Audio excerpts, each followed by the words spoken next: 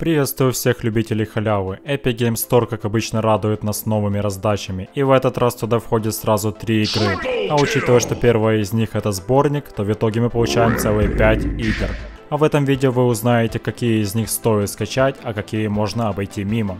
Перед началом обзора прошу поддержать канал подпиской. Так вы не забудете о новой раздаче, а еще на регулярной основе будете получать контент на игровую тематику. Всем приятного просмотра! Первая игра в списке и самая, как по мне, интересная. Deponia, The Complete Journey. И включает в себя сразу три части в одном комплекте. А по жанру она относится к 2D Point and Click квестам. А это значит, что нам придется много кликать на экран, находя какие-то предметы и решая задачки. Все в духе старой школы. Сюжет же нам расскажет о Руфусе, главном герое, который одержим мечтой сбежать с родной планеты, которая по факту является лишь огромной свалкой – и в этом пути мы встречаем множество интересных и юмористических персонажей, к которым привыкаешь, и они не кажутся картонными. А геймплей, как и говорилось ранее, весь завязан на различных загадках, и они не представляют прям какой-то большой проблемы. Все довольно легко решается и достаточно просто включить логику. Также в процессе игры мы собираем различные предметы, применяем и комбинируем в инвентаре. В решении задач нам часто помогают мысли главного героя и диалоги с персонажами. А диалоги тут...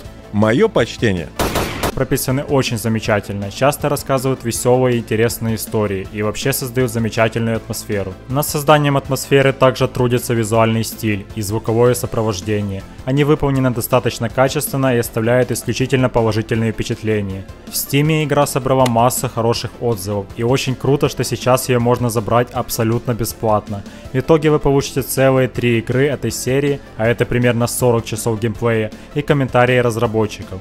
Игры переведены на русский язык, жалко только, что нету русской озвучки. Хотя если посмотреть на прошлые раздачи, то и русские субтитры это очень даже замечательно.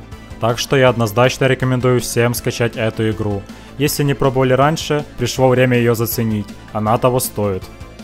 Следующая игра в списке.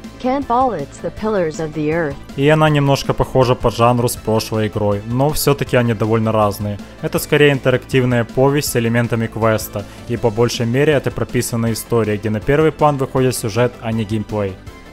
А сюжет тут сделан по мотивам книги, и хоть нам и дают выбор в диалогах, сильно повлиять на итоговый результат у нас не получится. Мы начинаем историю в английском графстве Шеринг в 1135 году, а играем мы за Тома, у которого вся семья голодает и уже в шаге от смерти. И первое, что мы сделаем, это подберем котелок, чтобы подогреть воду для супа. И на этом, в общем же, и завязан весь геймплей. Мы подбираем предметы и взаимодействуем с окружением, прямо как в нашей прошлой игре. Только комбинировать внутри инвентаря нам ничего не нужно. Еще небольшой элемент геймплея вставки с QTE. Они немного разбавляют общую однообразность управления. В общем же, игра получилась довольно живой и душевной. Картинка радует глаз, а история довольно трогательная. Ну и о музыке тоже не нужно забывать. Звуковое сопровождение очень приятное и помогает создавать общую атмосферу. Игру рекомендую тем, кто хочет получить интересную историю, чтобы без напряжения поиграть вечерком и насладиться приятной повестью. Кстати, в игре очень качественные русские субтитры.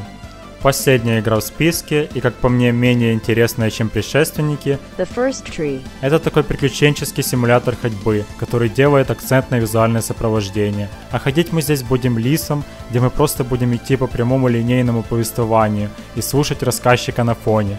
Но все не настолько просто. Это как бы сон, где мы проходим от одного воспоминания к другому. Конечно, поначалу это все кажется даже интересным, но по факту мы получаем довольно кривую игру, где от элементов платформинга иногда просто тошнит, настолько они плохо сделаны. И хоть игра кажется на видео довольно красивой, она действительно яркая, но в ней очень не хватает детализации, и если присмотреться, все кажется однообразным, как и весь геймплей, если честно. Единственный плюс, если его так можно назвать, конечно, игра очень короткая, и есть шанс, что она даже не успеет надоесть.